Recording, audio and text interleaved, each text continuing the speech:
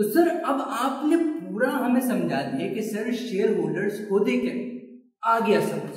मगर सर, हम बचपन से ये सुनते हुए आए हैं कि शेयर होल्डर जो होता है, वो कंपनी का उतने परसेंट मालिक होता है जितने उसके पास शेयर्स होते हैं। क्या बात कर दी सर आपने? बिल्कुल सही कहा है आपने। मगर इसका मतलब ये नहीं है कि फॉर एग्ज़ाम्पल आपने मेरी कंपनी के 500 शेयर लिए हैं, मगर मेरी कंपनी ने तो इक्कीस हज़ार शेयर इशू किए हैं।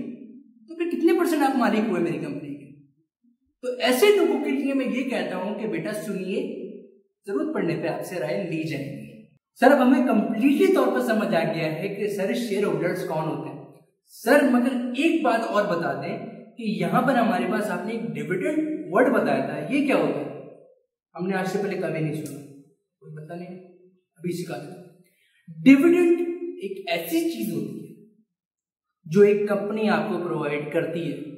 भले वो नुकसान में जाए या फिर प्रॉफिट में जाए। सुनिएगा मेरी बात थोड़ी गौर से। अभी हम थोड़ा केस को थोड़ा सा और ट्विस्ट करने वाले हैं, ताकि आपके लिए थोड़ी सी परेशानी और पैदा कर मतलब वो इतनी आसानी से आपके दिमाग में बैठने वाली नहीं है, मगर मैं हूँ ना, मैं बैठाऊँगा अभी। सबसे पहले मेरी बात थोड़ी गौर से सुनिए। आपने मेरी कंपनी के अंदर शेयर्स ले लिए हंड्रेड शेयर्स ले लिए।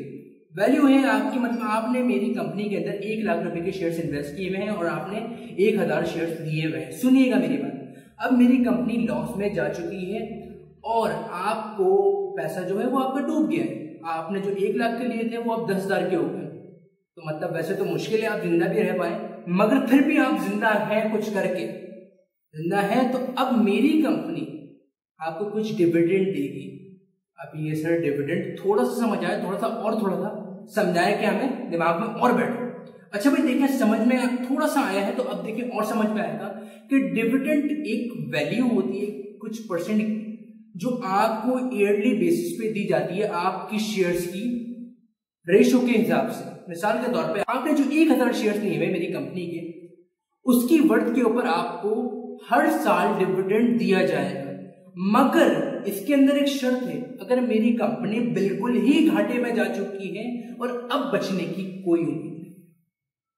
तो मैं आपको एक रुपया देने का मेरा बदार नहीं और अगर मेरी कंपनी के पास इतनी सी भी लाइफ लाइन होगी तो मैं अपनी सारी चीज़ें बेच के आप लोगों के पैसे उतार दूँगा। आप सभी लोगों के लिए एक पहला एक छोटा सा हार्ट अटैक हाजिर है। और वो ये है कि देखिए आप ये हमने फॉर्मूला तो पूरा समझ ही लिया है। अब जरा थोड़ा सवाल के ऊपर थोड़ा सा और सवाल आप लोगों के सामने आ ही रहा है। पढ़ने का मत बोलिएगा प्लीज़ खुद से पढ़ लें और ताकि आप लोगों को खुद से समझ आए कि हमने वैल्यूज़ कैसे पुट करनी है। पाँच मिनट रुके one, two, three, four, five. Five तक कर लिया अब मैं वैल्यूज़ देख ले सबसे पहले करंट वैल्यू के अंदर मैंने जो वैल्यू पुट करी है वो है मेरी ट्वेंटी फोर सेकेंड जो है, वो है हमारे पास परचेजिंग प्राइस परचेजिंग प्राइस के अंदर मैंने ट्वेंटी वैल्यू पुट की है। अभी जरा मैं इसको समझाता भी हूँ, जरा वैल्यूज़ पुट कर रहे हैं थर्ड नंबर पे हमारे पास जो डिविडेंड है, उसके अंदर हमने कंपनी ने डिसाइड किया कि भाई हम 4.50 परसेंट हम डिविडेंड देने वाले हैं।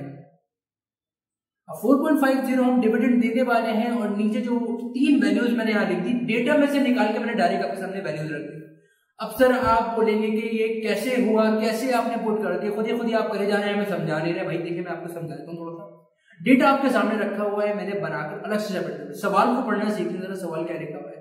इसके अंदर हमारे पास करंट वैल्यू है, जो हमने वो डायरेक्टली पुट कर दिया उठा के हमने कुछ भी नहीं किया। देखें इससे पहले जो मैंने आपको एक अपनी कंपनी की एग्ज़ाम्पल दी थी आपने मेरे कंपनी के शेयर जो है वो महँगे परचेज किए थे, मगर आगे जाके उसका रेट गिर गया था।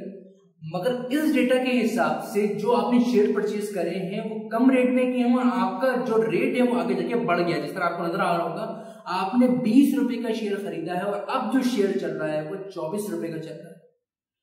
और जो चौबीस रुपए का चल रहा है, उसके ऊपर आपको प्रॉफिट तो हुआ हुआ, और आपको डिविडेंड भी दिया जाएगा four point five zero percent आपके तो मज़े ही मज़े होने वाले हैं। तो ये सारी वैल्यू पुट कर दी मल्टीप्लाई करके लास्ट में हंड्रेड परसेंट से ज़रूर कर दीजिएगा, यहाँ करके लगा दिया है मैंने।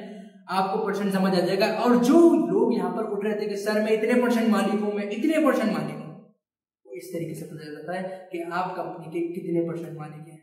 समझ में आ गई बात? तो जो यहाँ पर जो वैल्यू आ रही है आप कंपनी के इतने परसेंट मालिक हैं।